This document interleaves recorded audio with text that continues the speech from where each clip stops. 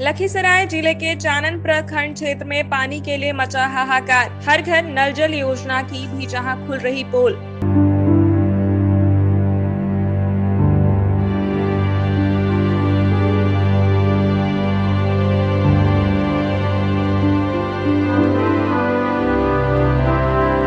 जी हाँ, मामला भलुई पंचायत के महाजन्मा कोडासी गाँव की है, जहाँ महज 45 घरों की 250 के करीब आदिवासियों की आबादी वाले गाँव में बुनियादी सुविधाओं तक की किल्लत है। सरकार आदिवासी लोगों के विकास एवं उसके उत्थान का लाख दावा कर ले। हकीकत देखना हो तो महाजन्मा कोडासी पहुँच कर देख लें। सरकार के सभी दावे की धरातल पर सच्चाई दिख जाएगी। आज़ादी के छह दशक गुजर जाने के बाद भी यहाँ के लोग आज भी जंगल पहाड़ से निकलने वाली पानी पीकर अपना जीवन यापन कर रहे हैं। यहाँ सीएम के साथ निश्चय योजना भी नहीं पहुँच सकी है।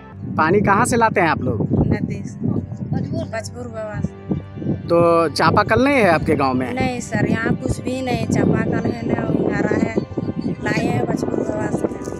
प्रत्येक दिन यहीं से लाते हैं? वहीं से लाते हैं। सुबह शाम? सुबह शाम। खाना भी इसी से बनाते हैं? बनाते हैं खाना भी बनाते हैं और पानी भी पीते हैं। क्या नाम हुआ आपका?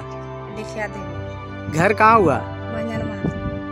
दूषित पानी के पीने से यहाँ के लोग कुपोषित हो रहे हैं। इलाज में 10 से पंद्रह हज़ार रूपए भी खर्च नहीं कर पाते हैं। गरीब होने के कारण लोग दम तोड़ देते हैं। आश्चर्य इस बात की है कि शादी विवाह के मौसम में आए बारातियों को पेड़ गाछ के नीचे बैठाया जाता है। गाँव में एक चबूतरा नुमा तक नहीं है। महाजर्मा कोडासी के लोग आज भी गुलामी की तंजीर में जी रहे हैं।